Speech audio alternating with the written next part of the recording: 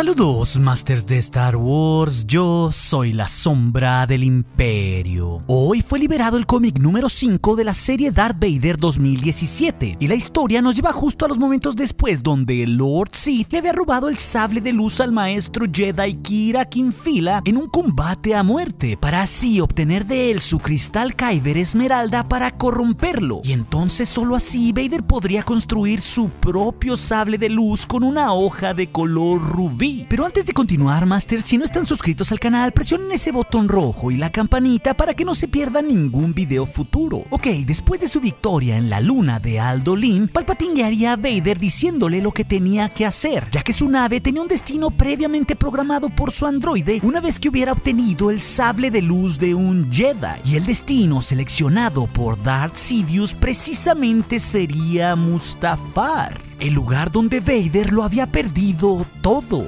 Pero además, Palpatine le diría a Vader que Mustafar no era como otros planetas, era único, ya que debajo de su superficie volcánica existía un lugar especial para el lado oscuro de la fuerza. En ese planeta, en medio de los inmensos ríos de lava, Vader se reclamaría a sí mismo, justo en el lugar de su más grande derrota. Ahí Vader volvería a levantarse más fuerte, irrompible y mucho más poderoso. Entonces el maestro le explicaría al aprendiz Sith que el sable del Jedi y en específico el cristal Kyber que lo contenía todavía no era suyo, ya que el cristal era una cosa poderosa, viva de alguna extraña manera, pulsando una energía del lado luminoso, por lo que Vader tendría que usar toda su fuerza para hacerlo inclinarse ante su voluntad. Y Palpatine cerraría su misteriosa lección oscura a su aprendiz diciéndole que cuando llegara a Mustafar encontrara el lugar donde la oscuridad lo llamara y entonces aprovechara la energía ahí combinada con su propio poder para corromper el cristal Kyber. Esto al enseñarle su dolor y su ira. Entonces solo así Vader podría oír al cristal recitar un himno oscuro, todo para hacerlo sangrar. Y es curioso que Palpatine haya elegido ese lugar precisamente porque sería un recordatorio para Vader que mediante el intenso dolor era como un Sith se hacía mucho más poderoso. Por eso terminaría en esa extraña cueva con una catarata, justo la misma cueva con un intenso poder oscuro donde Vader estaría destinado a construir su propio castillo años más tarde como lo pudimos ver en la película de Rogue One. Entonces Darth Vader entraría a la cueva que estaba llena de pinturas ancestrales y comenzaría a desarmar el sable de luz del Jedi caído y pondría sobre una especie de altar de piedra el cristal verde que había conseguido para sí. En ese momento Vader lo miraría intensamente con el único visor que le quedaba funcionando y se comenzaría a concentrar profundamente en la fuerza para empezar a liberar el poder que el cristal guardaba dentro de sí. Pero ante este proceso, Vader súbitamente sería lanzado contra la pared de la cueva por el gran poder que había liberado, rompiéndole el lente de su ojo izquierdo que ya estaba rasgado. Pero esto sería como una enorme revelación para Darth Vader, porque inmediatamente se cuestionaría sobre qué había hecho.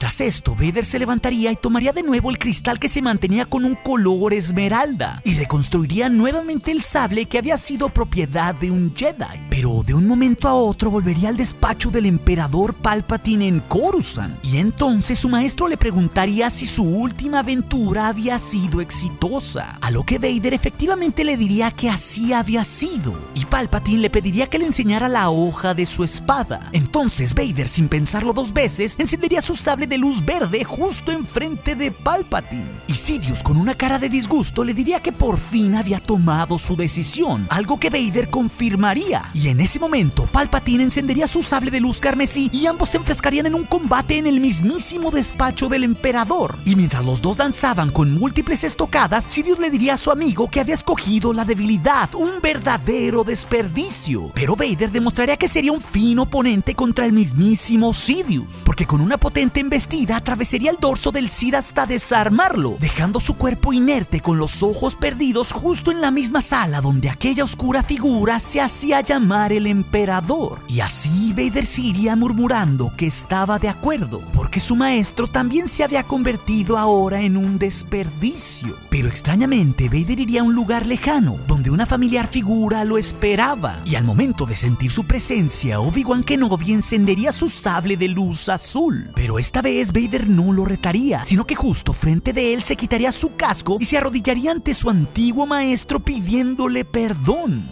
Entonces Obi-Wan levantaría la hoja de su sable de luz como si fuera a atacarlo, pero súbitamente se detendría y lo llamaría por su nombre, Anakin. Al oír de nuevo ese nombre que tanto odiaba a Vader, volvería en sí y saldría de aquella misteriosa visión que había provocado su primer intento por corromper el cristal esmeralda. Pero con el dolor que había sentido, esto había provocado una ira mucho más intensa, un camino luminoso que Vader se negaba a seguir. Y entonces tomaría el cristal de nuevo con su mano y le diría que esto era todo lo que había. Rápidamente, el poder y el enojo de Vader provocarían una poderosa reacción en cadena en el cristal, del cual saldrían poderosos rayos y la superficie misma de Mustafar se comenzaría a agitar intensamente. Y Vader, mientras resistía ese enorme poder que tenía en sus manos, comenzaría a recordar a Obi-Wan, su derrota en Mustafar, la muerte de su madre, la pérdida de Padme y claro, el único camino que le quedaba, Palpatine. Y así aquellos recuerdos oscuros harían que Darth Vader liberara todo su dolor y su furia sobre aquel cristal Kyber para que su interior fuera corrompido y sangrara. Pero de un momento a otro todo cambiaría y estaríamos justo nuevamente en Coruscant en el despacho de Palpatine. Pero esta vez junto a un par de guardias reales y también junto a Tarkin y Masameda, mientras el emperador supervisaba cómo iba la construcción de su nueva y misteriosa arma. Pero los guardias en ese momento encenderían sus báculos en posición de alerta y ambos saldrían brutalmente lanzados contra el vidrio de aquel despacho, anunciando que una oscura figura había vuelto con su maestro. Y ahí veríamos que que Darth Vader había vuelto de su épica misión con terribles daños que había sufrido su traje tras el combate que casi había perdido contra el maestro en fila, teniendo partes de su piel expuestas, pero resurgiendo como el ejecutor Sid en el que ahora se había convertido. Palpatine le ordenaría a sus dos acompañantes que dejaran la sala, y a pesar de estar preocupados por él, Sidious les diría que estaba perfectamente a salvo ahí, y así Palpatine recibiría a su aprendiz diciéndole aprendiz, a lo que Vader poéticamente contestaría, maestro, mientras el Cid encendía así su hoja carmesí proveniente de su nuevo sable de luz. Es así como por fin en este nuevo canon sabemos cómo Darth Vader pudo corromper ese cristal Jedi para convertirlo en un cristal rojo de los Sith, para así poder tener su propio sable de luz digno de un sirviente de la oscuridad. Un doloroso proceso que nos haría entender verdaderamente cuál era el camino y las emociones que controlaban la vida de un Sith. Pero sobre todo, este cómic es una gran revelación porque demuestra que aquella caverna en medio de la nada en Mustafar se volvería un poderoso lugar que el Sith reconocería, porque en el futuro terminaría reclamándola para sí construyendo su siniestro castillo, el único lugar donde Vader podía meditar, sanarse y estar en contacto con su parte más oscura y retorcida. Y como siempre, Masters de Star Wars, gracias por sus pulgares arriba y por participar con sus preguntas y comentarios para la sección de la pregunta del día, para así seguir llevando este canal a galaxias muy, muy lejanas. Y recuerden, nuestro aliado es la fuerza y un poderoso aliado es. Hasta aquí su amigo, la sombra del imperio.